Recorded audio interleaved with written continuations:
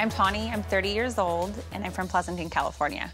It's super unconventional, but I've asked my parents to pick my husband, so I'm going to be marrying a complete stranger. What can I get you? Can I do a small vanilla pumpkin spice swirl, please? Yeah, and is that it? Yes.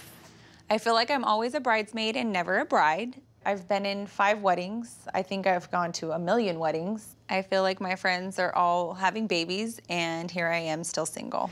Thank you.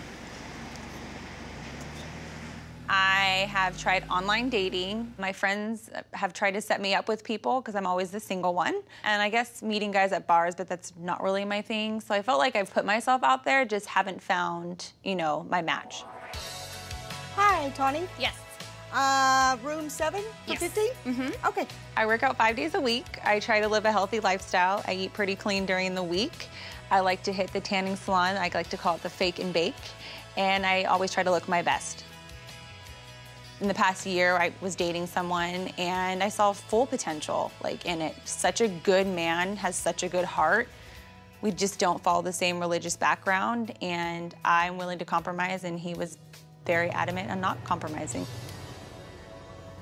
Dating is hard. The older you get, you set such high expectations for what you want. Thank you. You're welcome. Have a good day. You too.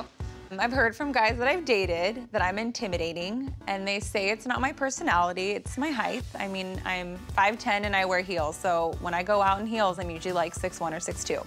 So finding a man that's taller than me is definitely something that I'm looking for. I definitely want someone that's active and who, who likes to take care of their body and works out because that's very important to me. Outgoing, adventurous, has integrity, um, who's compassionate, who's just a nice person. Definitely someone that can put me in my place when I can put them in theirs.